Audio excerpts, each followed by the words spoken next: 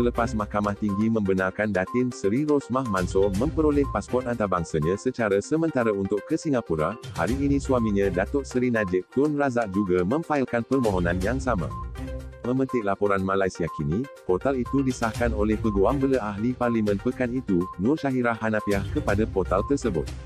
Nur Syahirah berkata, pasukan pembelaan Najib memfailkan permohonan berkaitan pasport tersebut ke Mahkamah Rayuan kerana rayuan bagi sabitan kes ahli parlimen pekan itu sedang dibicarakan di situ.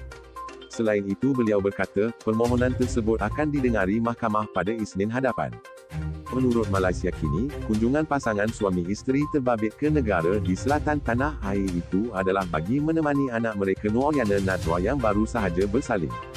Awal hari ini, Hakim Mahkamah Tinggi Muhammad Zaini Mazlan membenarkan permohonan Rosmah Mansor untuk mendapatkan semula pasportnya, bagi membolehkan beliau ke Singapura untuk menemani anak perempuannya Nooriana Najwa, yang baru sahaja bersalin.